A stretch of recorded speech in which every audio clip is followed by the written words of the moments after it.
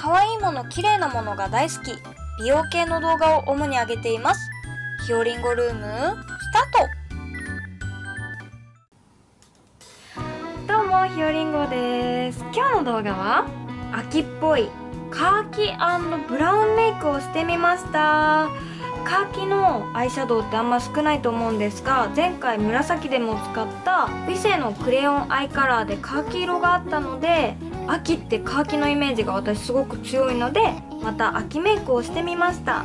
私結構子供っぽく見られることが多いんですけどカーキのクレヨンアイカラーを使って大人っぽく少しでも見せられたらなと思います。ではこちらのメイクの様子をどうぞ。キャンメイクのジューシーピュアアイズを使っていきます。まずベースメイクは済んでいてカラコンはバンビシリーズエンジェルカラーワンデーアクアリッチのアーモンドが入っています。ラメをアイホール全体に塗ってください。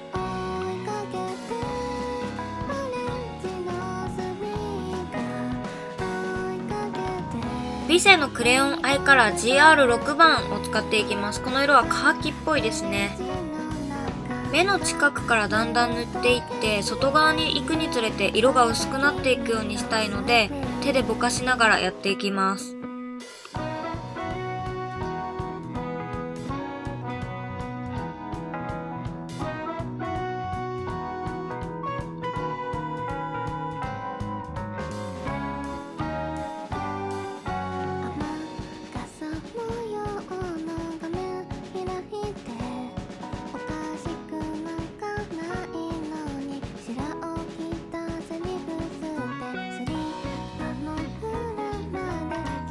カーキはこんな感じです。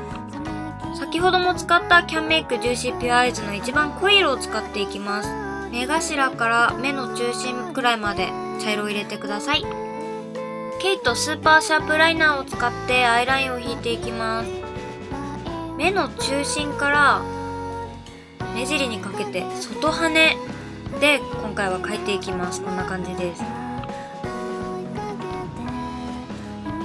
ケイトのバーチャルロングラッシュマスカラを使ってまつげを伸ばしていきたいと思います。結構伸ばしてください。こう念入りに何度塗りもしてください。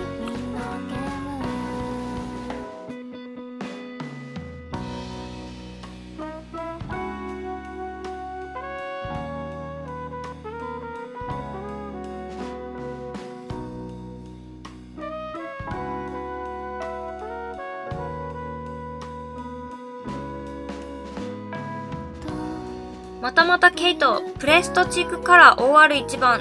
えっ、ー、と、ちょっと見えにくいんですけど、オレンジを使っていきます。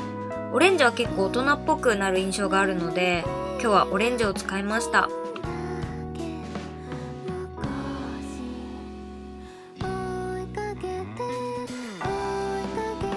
チフレの口紅416番を使って塗っていきます。この色はね、オレンジっぽくてすごい綺麗です。前髪を整えます。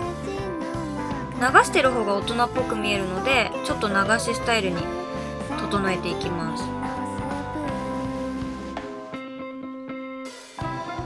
はい完成しました。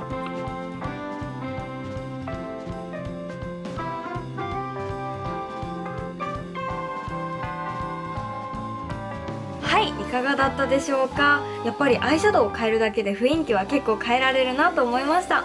皆さんもよかったらやってみてください。本日もご視聴ありがとうございました。良ければグッドボタンとチャンネル登録お願いします。ではまた次の動画でお会いしましょう。バイバーイ。